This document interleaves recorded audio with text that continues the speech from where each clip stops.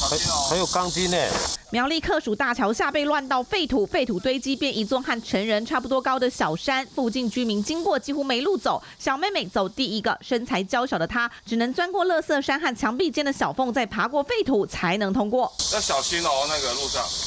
小妹妹走得战战兢兢，怕被废弃物勾到受伤。大人跟在后面也不敢大意，慢慢走，以免踩到尖锐垃圾。环境现在很脏乱了，嗯，没有办法过去啊。然后呃，要喷农药、撒肥料都不行。县府紧急找来挖土机，开出一条小路给居民过。而苗栗铜锣客属大桥是知名景点，却被乱倒废土。远景调监视器发现，这辆一引车半夜开到桥下，当时车斗盖帆布，鼓鼓的，研判就是装废土。没多久开上来，车斗帆布陷下去，废。土全都倒去桥下了。掌握邱姓犯嫌涉嫌重大，复报请地检署指挥侦办。于今年六月持拘票、搜索票，查缉邱贤到案。远警抓到邱姓嫌犯，他分别在后龙、造桥、头屋和铜锣等乡镇都有犯案。他开这辆一影车，车斗满载，大约能装二十立方公尺的废土，一般行情处理费要五万元。他乱倒八次，省下四十万元，可说是倒一次赚一次。而他又低于市价，一次只收一到两万的处理费，吸引客户，不法所得约十四万元。他为了赚这一笔不义之财，乱倒废土，危害环境，还让居民爬废土山。警方侦讯后，将嫌犯移送法办，法院裁。裁定积压。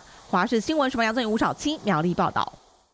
Hello，大家好，我是林依文。想要抢先掌握最及时的新闻资讯吗？赶快订阅、按赞、开启小铃铛，锁定华视新闻的 YouTube 频道。